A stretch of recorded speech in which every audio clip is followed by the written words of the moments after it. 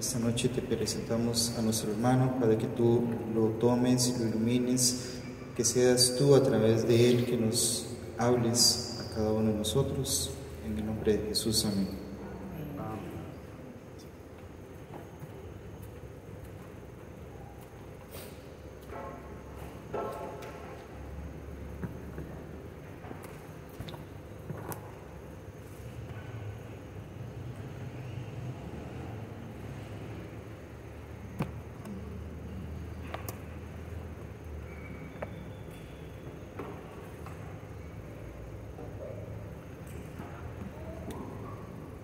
Hermanos. Bueno, ya. Llegamos. Dos horas treinta llegando hasta aquí, pero bueno. Por algo Dios permite, hace las cosas, ¿verdad? Entonces, bueno, ahí salió Meli sopla ahí para allá. Pero sí, increíble.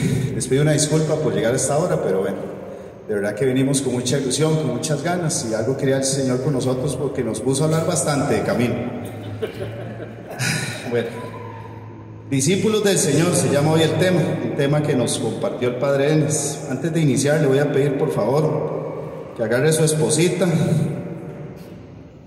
los hombres, caballeros, cabezas de hogar. Si está solita, si está solito, abraces, agarre su esposa, dale un abrazo. No, no la deje irse. Estos son momentos que hay que aprovechar. No, pero dale un abrazo fuerte, un abrazo fuerte, fuerte, fuerte. Si hay algo ahí, y besito, dale besito, dale besito, o besote, como quiera. Porque ya nosotros, después de tantos años, a veces sabemos que los viernes, cuando venimos para asamblea, el, enemigo algo hace, ¿verdad? O algo le gusta molestar, pero bueno. Ahora le voy a pedir que cierre sus ojos un momento. Uy, qué salva, gracias. Ya me tomé como cuatro litros allá ande. Nos comimos una bolsa de plátanos ahí camino, esas que venden dulces, y hasta que vengo aquí. Este, y, este tan que si quiere uno se era, uno suspiro, digo, me ahogo ahí adelante. Usted sabe, no, no, no. Cierre sus ojos un momento, por favor.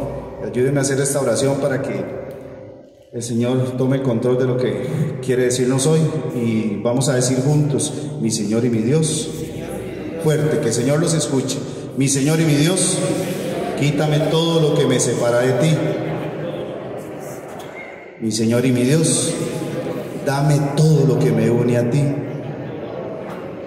Mi Señor y mi Dios, vacíame hoy de mí y lléname de ti. Amén. Amén. Amén. Ok, vamos a hablar de este tema como les digo, que el Padre Eni nos dio. Pero es curioso porque este tema hablamos con los jóvenes hace unas semanas, ¿verdad? Este, y fue hermoso poder compartir con los jóvenes porque hay un espíritu que se mueve diferente con los jóvenes. No es que nosotros no tengamos espíritu joven, pero con ellos este, es hermoso verlos. Eh, como ellos solitos dan su prédica y ellos solos, ¿verdad? Opinan y dicen y es, es hermoso. Entonces vamos a usar la misma dinámica con los jóvenes de Sarchí, con los que están hoy aquí, porque somos jóvenes, ¿no? Esto, estos dos países que acaban de graduarse de del cole. Pregunta y participemos para que vayamos eh, eh, teniendo comunicación con el Señor y que el Señor nos va hablando. ¿Quién es Jesús para nosotros? Porque hoy vamos a hablar discípulos del Señor, pero tenemos que, para hablar de alguien hay que conocerlo. ¿Cierto? Porque a veces no sucede en Sarchí, sucede en otras comunidades. A veces hablamos de alguien y no lo conocemos. Señalamos a alguien y no lo conocemos. Murmuramos de alguien y no lo conocemos. Criticamos a alguien y no lo conocemos. O hablamos muy bien de alguien y no lo conocemos. Pero tenemos que hablar hoy para hablar del Señor, tenemos que... Una pregunta, ¿quién es Jesús? ¿Quién es el Señor para ustedes? Estevita, ¿quién es Jesús para usted? Así, lo primero que se le venga al corazón. Mi maestro. ¿Quién es Jesús? Mi Salvador. Mi Salvador. Ronnie.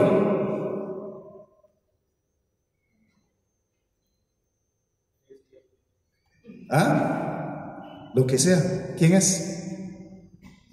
Mi Salvador. ¿Quién es Jesús? Mi amigo, mi hermano. Mi novio, opa, eso nunca lo había escuchado. Mi amigo, todo bien, mírate ya. Todo en orden, sí. Con este santo tenemos historia. ¿Quién es Jesús? ¿Quién es Jesús? El que nos lleva a Dios. ¿Quién más me ayuda? ¿Quién es Jesús? El Rey de Reyes. ¿Quién más? ¿Quién tiene por ahí algo guardado en el corazón? ¿Quién es Jesús? El amor de los amores. Qué bonito eso. ¿Qué? ¿Quién, más? ¿Quién es Jesús para ustedes? Mi compañero. ¿Quién más es Jesús? ¿Ah? Mi faro. Esa nunca la había escuchado. Pedro contestó, tú eres el ungido, el que había de, de venir. Y Jesús le dice, dichoso tú, Simón Pedro, porque eso no te lo ha revelado ningún hombre, sino que el Espíritu Santo. ¿Quién es Jesús para usted entonces? El ungido El ungido. Eso. Amén. Amén. Ok. Dicen los jóvenes, en un 90%, cuando les hicimos esta pregunta en dos comunidades, hermosas las dos comunidades, el 90% de los jóvenes respondió que Jesús es mi amigo. El 90% de los jóvenes, eh, muchachos y muchachas, responden, Jesús es mi amigo. ¿Será Jesús a nuestras edades nuestro amigo? ¿Será nuestro amigo? Entonces, lo que cada uno respondió, vamos a ir viendo si es lo que representa ser un discípulo del Señor, si conocemos verdaderamente a quién estamos siguiendo hoy. Porque si usted y yo estamos hoy aquí, un viernes, ¿cuántos años tiene la comunidad ya? ¿Esteta? Cinco años. ¿Quién tiene más de cinco años de estar en Menos en Victoria? Nosotros vamos para, tenemos 15 años de estar en Metro.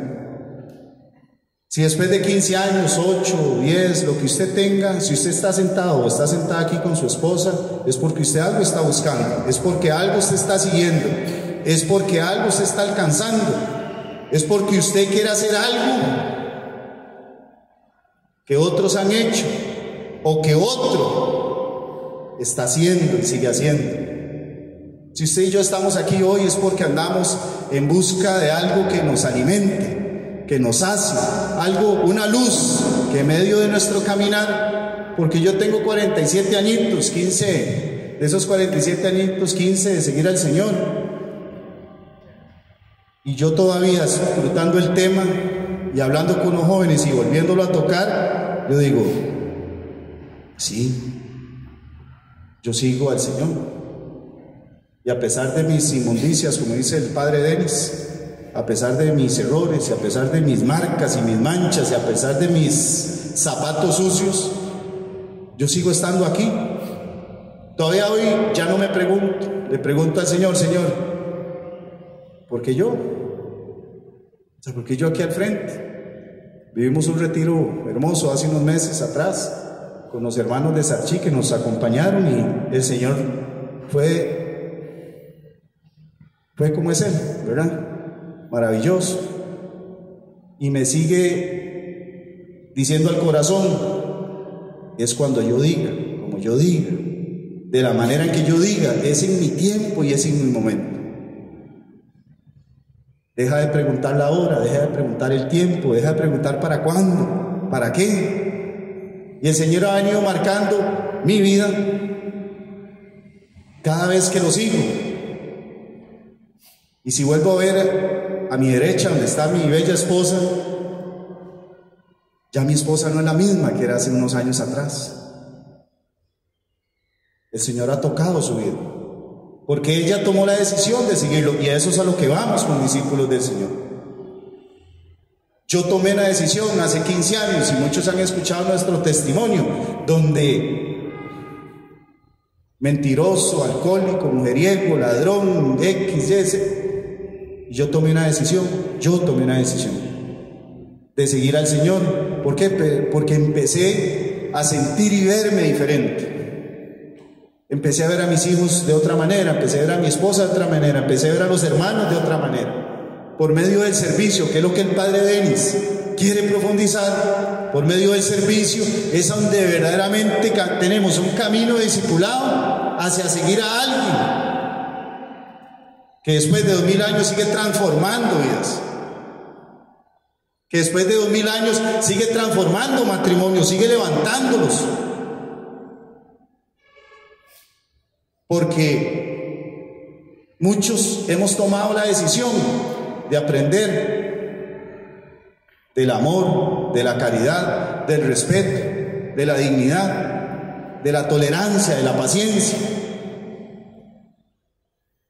Muchos de ustedes están aquí hoy sentados y han tenido años porque vieron en los ojos de muchos hermanos que se pararon aquí al frente o que simplemente decidieron servir con amor y por amor sin abrir la boca. ¿Cierto o no? Hablamos de eso en ese retiro. Muchos de nosotros sin abrir la boca predicamos. Muchos de nosotros sin sabernos la Biblia hablamos de un Jesús vivo. Muchos de nosotros sin tan siquiera hacer una mirada a otros hermanos, damos ejemplo que hay un Jesús que seguimos, un Jesús al que amamos, un Jesús vivo, un Jesús que de verdad abraza. Discípulos del Señor. Voy a leer lo textual como dice el Padre Denis. Y si gusta vamos sacando la Biblia, el libro de la vida, Evangelio según San Juan.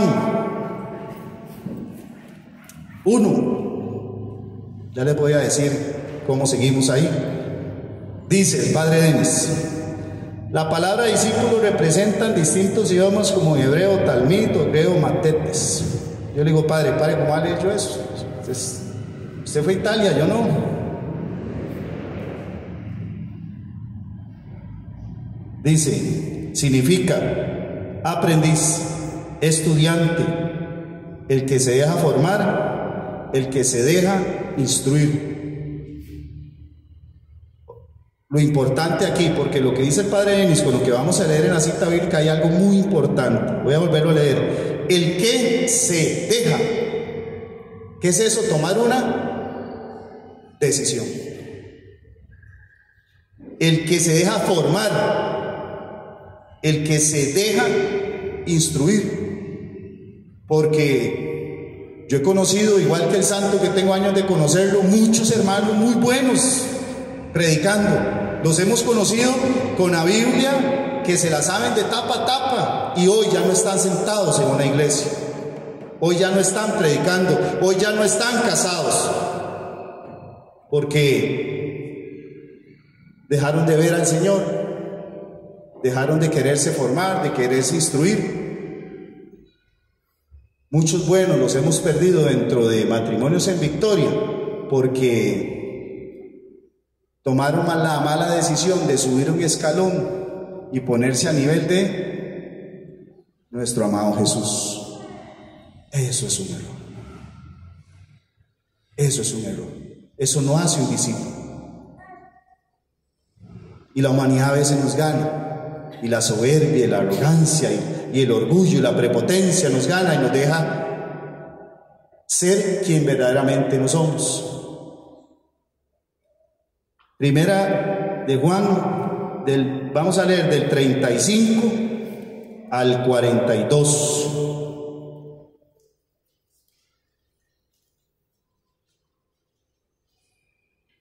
En el contexto del discípulo Jesús, más que mandar a ser Jesús, Jesús enseña a sus discípulos a ser principalmente con su ejemplo de vida, con su testimonio. Estamos viviendo una cuaresma, un tiempo hermoso donde a mí me, me marcó mucho la pasión de Cristo, muchísimo me marcó. En las diferentes actividades que hemos hecho, en las que hemos participado, en las que hemos servido, vemos cómo el Señor entregó su vida total y absoluta hasta su última gota de sangre por nosotros. Cuando profundicé en, la pasión de Cristo, me di cuenta que era, sí, es por nosotros, pero para que usted sienta una verdadera pasión con Cristo y entienda sus 15 estaciones, usted tiene que hacer lo suyo, tiene que profundizarse con el Señor, tiene que caminar en el Señor desde el principio a fin. para que usted comprenda por qué nuestro amado Jesús está en ese madero. Y yo le invito a que en esta cuaresma usted se abrace ese madero y que usted lea las 15 estaciones del Señor y que usted profundice en esas y se clave en esas estaciones. Porque ahí es donde un verdadero discípulo entiende y comprende por qué debe seguir al Maestro. Los discípulos de Jesús aprendían haciendo, ya que la, la, limitación, la imitación era más importante que la mera información. El objetivo de un discípulo de Cristo no es tanto memorizar las enseñanzas, sino, sino seguir el camino de su Maestro. Volvemos a lo mismo. ¿Cuántos de nosotros, bueno, yo no, se saben la Biblia de tapa a tapa? Y saben predicar y saben de todo.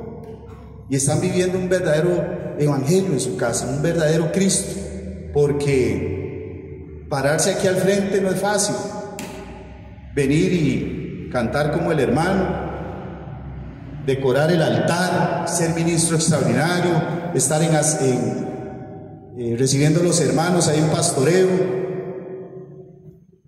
que nos vean, es hermoso, se siente bien. Pero ¿qué estamos viviendo en nuestra casa? ¿Será que podrán pararse nuestros hijos y nuestros familiares ahí, venir al frente y decir que sí, que nosotros somos verdaderos discípulos del Señor porque venimos a armar un altar, que somos verdaderos discípulos porque cantamos y nos sabemos 30 canciones. ¿Será que lo que estamos viviendo en nuestra casa verdaderamente es ejemplo de lo que Jesús ha enseñado en nuestras vidas? Porque es algo para reflexionar. El Padre Denis lo que quiere es que la comunidad de Sarchí tenga servidores que sean servidores de Cristo, que sean semejantes a Cristo, que caminen como Cristo, que hablen como Cristo, que actúen como Cristo, que vean como Cristo. Es lo que el Padre Denis necesita, es lo que el Padre Denis, bueno, él no lo necesita. Él quiere ver el movimiento de nuevo como lo vimos hace unos años atrás, que era un fuego, ¿ah? que era una sed, que era una hermandad, nosotros vamos a comunidades, aquí no pasa. Donde entramos, nos sentamos, ya nadie nos saluda, ya nadie nos da ese abrazo. Cuando estuvimos en la cuerda de tres hijos por varios años entrevistando a los hermanos, casi el 100% de los hermanos decía, es que a mí lo que me marcó de matrimonio en Victoria fue ese abrazo cuando llegué la primera vez. Y ese abrazo no se volvió a dar, no se está dando. Eso es lo que el Padre Denis está motivando, a que volvamos a ese primer amor, a esa sed, a que seamos unos discípulos con hambre. Con hambre, yo recuerdo Sergio Camacho que ya se lo he contado por aquello, ah, para que después no me echen al agua, que me caía súper mal, igual que Arnaldo, el de Tati, me caía malísimo porque le daba esa abrazadera. Y, eso, y, y Santico me pegaba unos besos que me dejaba todavía y yo no entendía. Qué belleza. Nosotros el miércoles vamos a ser abuelos. Estamos como locos. Yo no entendía que esos, esos besos, esas babas, ese abrazo. Arnaldo una vez llegó y me abrazó en oro, me acuerdo cuando estábamos allá. Y me, yo, es que lo que digo es cierto, tengo que decir la verdad. Yo decía, qué gordo más repugnante, qué mal me cae. Porque, ¿saben qué no me gustaba de Arnaldo? Que lo que transmitía era un Jesús vivo, o lo que transmite. Llegó, me abrazó, así de la nada, y no me soltaba y me abrazaba fuertísimo hasta que pues, me deshice, ¿verdad? Y empecé a llorar, empecé a llorar muy fuerte porque me dijo, todo va a estar bien. Dice el Señor que tome la decisión que tenga que tomar, que la va a respaldar. Si yo a Arnaldo una vida le había hablado, y me dio la respuesta al Señor.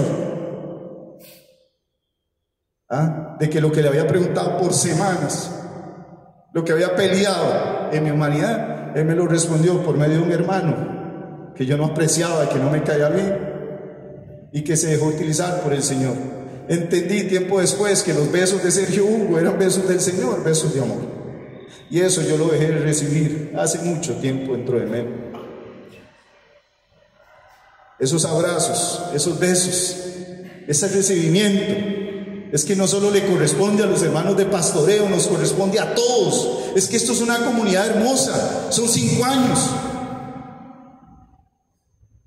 Le corresponde a cada uno de ustedes, hasta los nuevos. Recuerdo cuando Meli fue a la primera asamblea y a los cinco minutos ya quería irse. ¿Qué son ese montón de panderetas? Decía. Hasta eso hemos perdido el gusto y las ganas de aplaudir, el gusto y las ganas de, de cantar, de adorar al Señor.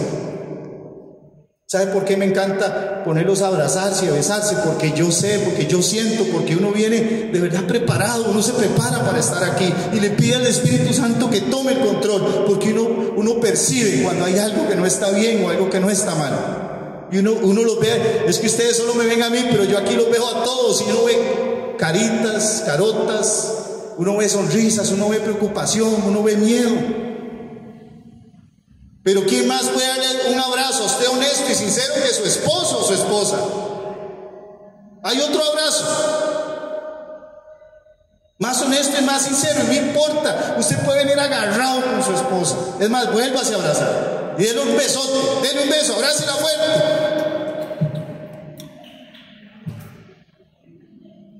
Porque las cosas de Dios eso lo que hacen es que no importa si usted no sabe leer la Biblia, si no se sabe nada, es que lo que importa es lo que usted tenga en el corazón. Eso es lo que transmite un discípulo. Que usted pueda levantarse de esa banca ahora cuando esté el Señor expuesto y decirle, Señor, sí, aquí estoy. Y hoy me regalaste un nuevo día porque yo no sé si ya dio gracias hoy. Ya se detuvo a dar gracias porque hoy despertó. Esto va soplado. Porque hoy despertó, despertó una cama caliente, pero con estos calores, ¿verdad? Nosotros, bueno, paréntesis, vendemos aires acondicionados, buenos, bonitos, baratos, ¿verdad? Taza cero, no, eso no manejamos. Porque hoy tuvo comida. Se dio gracias hoy, porque sus hijos están sanos, porque usted está sana. Dio gracias hoy porque tiene un trabajo. Dio gracias a Dios porque tiene una casa segura,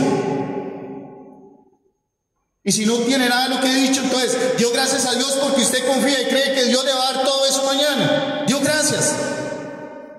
Yo lo invito que ahora, cuando el Señor esté aquí presente, porque el único importante aquí es Él, ninguno de nosotros. Es Él. Levántese, tome a su esposa, venga solo o sola. dígale al Señor, sí, yo quiero seguirte. Quiero ser de verdad un discípulo, una discípula.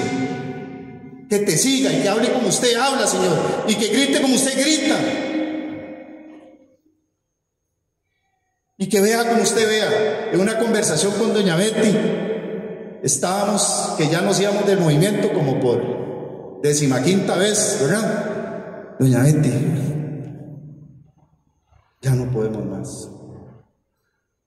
Queremos dejar todo. ¿Sabe qué es que usted no sabe Esteban lo mal que me cae? Y usted no sabe el otro Esteban también me cae. Bueno, entonces ella nos cuenta la historia que no voy a profundizar porque es historia de ella pero nos dijo algo hermoso que nos quedó grabado en el corazón y tal vez hoy le sirva, tal vez hoy le quede a usted. Ella le pidió a Dios por tres meses que le ayudara a amar a una hermana que le estaba robando la paz. A doña Betty. ¿Usted cree que a doña Betty alguien le roba la paz? Sí. Sí. Y dice que le oró al Señor por tres meses. Señor, permíteme amarla, verla con tus ojos y amarla con tu corazón. Se nos fue el enojo, se nos fue la ira. Señor, permíteme verla con tus ojos y amarla con tu corazón. Usted sabe que usted se, hoy usted tenga la oportunidad de ver a su esposa y a su esposo con los ojos del Señor. ¿Usted sabe qué hermoso sería que usted hoy se deje regalar eso? ¿Será que sucede? Es que solo usted se puede dar cuenta. Que usted hoy pueda ver fijamente a su esposa a los ojos y decirle al Señor en secreto, Señor, permíteme amarla con tu corazón y verla con tus ojos. Debe ser un regalo hermoso. ¿Por qué no se deja regalar eso hoy? Puede ser la noche, ¿no? ¿Será que mañana tenemos otra noche? No sabemos. Lo que hicimos hoy, en hoy se queda. Dice la palabra de Dios. El día siguiente Juan se encontraba de nuevo allí con dos de sus discípulos. Fijándose en Jesús que pasaba, dijo, He ahí el Cordero de Dios. Al oírle hablar así, los, los, dos discípulos siguieron a Jesús. Jesús se volvió y al ver que le seguían les preguntó, ¿qué buscáis? Ellos le respondieron, rabí, que quiere decir maestro. ¿Dónde vives? Le respondió, venid y lo veréis. Fueron, pues, vieron dónde vivía y se quedaron con él aquel día. Era más o menos la hora décima. Andrés, el hermano de Simón Pedro, era uno de los dos que habían oído a Juan y habían seguido a Jesús.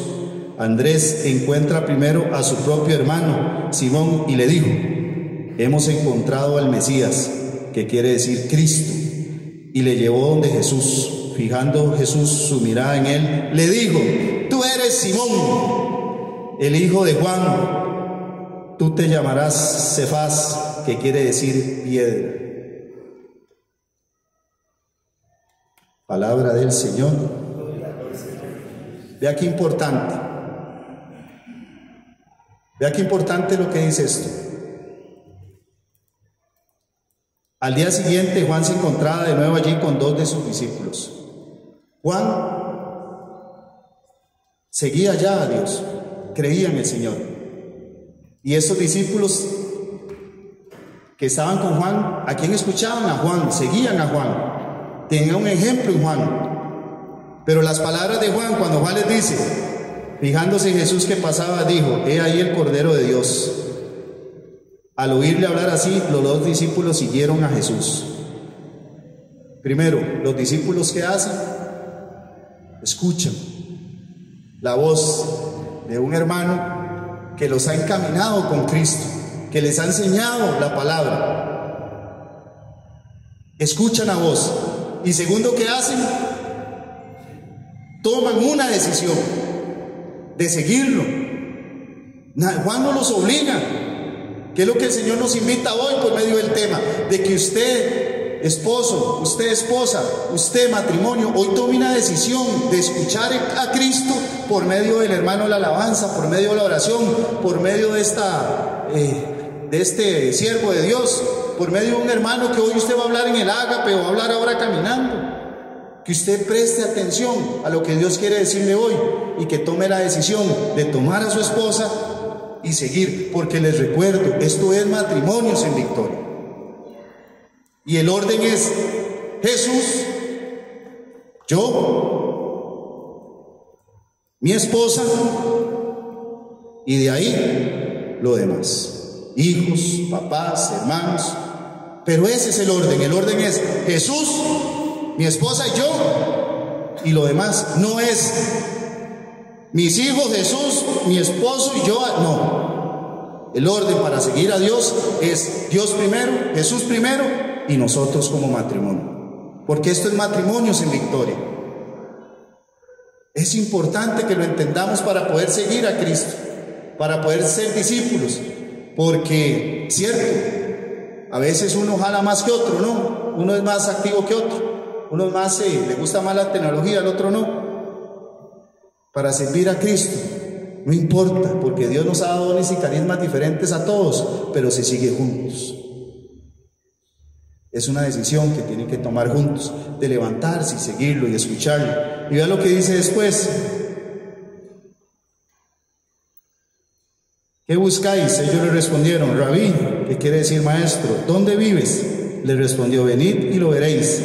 Fueron, pues vieron dónde vivía y se quedaron con él aquel día. Era más o menos la hora décima. Toman una decisión, escuchan, lo siguen y le preguntan, ¿dónde vives? Hermanos de Sarchí, ¿dónde vive Jesús en ustedes? ¿Dónde vive Jesús en ustedes? Dígalo. Porque ustedes ya dijeron quién era Jesús y dónde está viviendo Jesús en ustedes. Está en su corazón. Verdaderamente está en su corazón.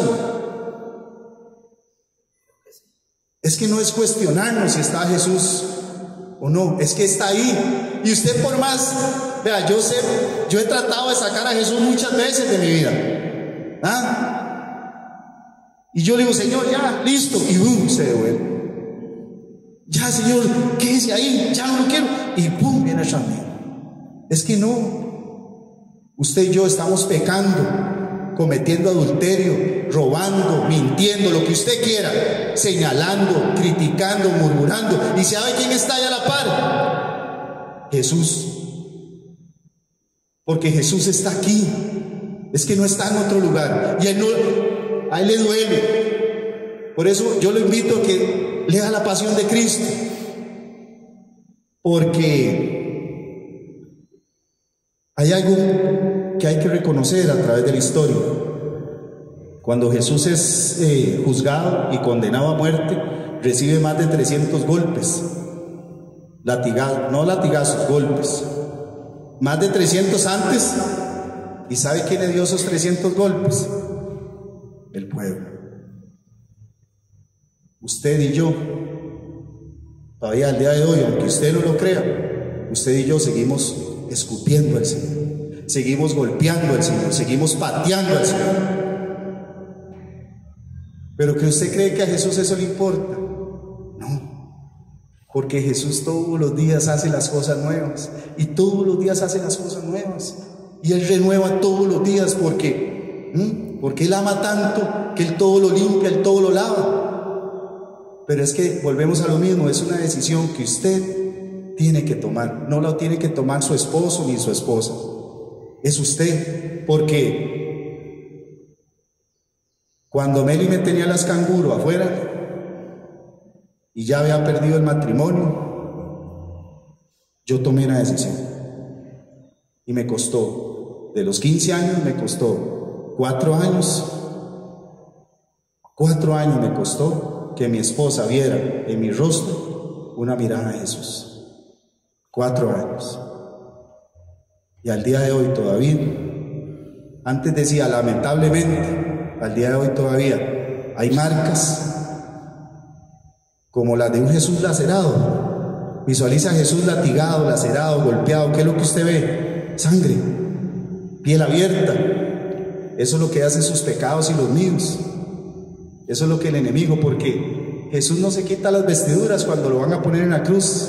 A él lo desviste porque eso es lo que le gusta al enemigo, que nuestras heridas se vean, las que nosotros mismos hemos, hemos permitido en nuestra vida, la que usted mismo ha dejado entrar en su vida, en su matrimonio, en su casa, en sus hijos, porque es una realidad, porque sí, sí, sí existe. El mal que usted lleve a su casa, el daño que usted lleve a su casa, usted mismo tiene que sacarlo de ahí. Y si usted, como yo, que sí lo hice, dinero mal habido, cosas robadas, mentiras, engaños, manos sucias, boca sucia, sí, al día de hoy todavía mis hijos están marcados por esa cochinada. Y me ha costado mucho sacarlo de ahí. Pero sé que tengo un Señor que todos los días conmigo pelea la buena batalla, porque bajó hace 15 años al infierno a pelear por mí. Y yo lo vi revestirse de su vestidura y pelear la buena batalla por mí. Y me sacó del infierno de todo lo que les conté.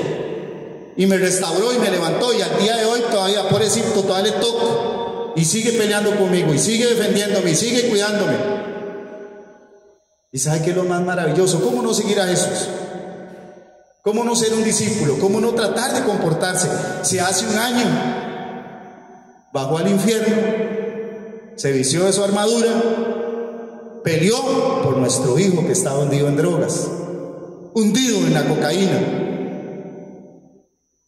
totalmente perdido como un indigente que usted ve ahí. Así olía, así se veía. Muchos hermanos de la comunidad donde nosotros pertenecemos se le corrían de la calle porque era un indigente. Hermanos que se saben la palabra de Dios de tapa a tapa. Hermanos que predican.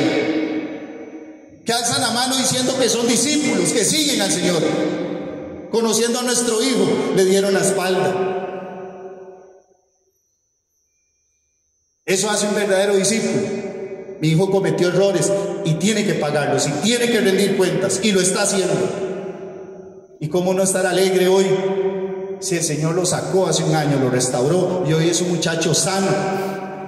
Hoy es un muchacho que está peleando, es un muchacho que hoy tomó la decisión de hacernos abuelos. No nos preguntó, no era el tiempo ni el momento, pero yo estoy seguro, porque yo he conversado con mi Señor, que esta bebé que se llama Mónica Victoria va a traer una bendición a nuestra vida, porque sabe que trajo esta niña sin haber estado con nosotros. Trajo una unión entre un hijo y una madre que estaba totalmente con su corazón destrozado.